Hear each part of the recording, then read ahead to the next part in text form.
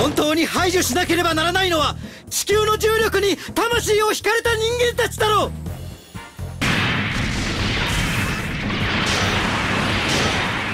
ガンダムマーク2カミーユ行きます。教えてほしいんです。周囲の期待に応える方法をこいつ来るのか？ニュータイプになって戦いに勝てれば苦労はありません。あなたは組織に一人で対抗しようとして敗れたバカな人でしょう赤水星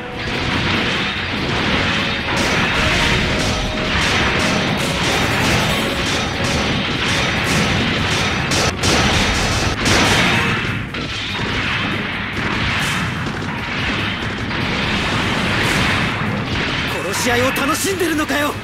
そんな奴は。人の心を大事にしない世界を作って何になるんだ？どうしてこんなことに？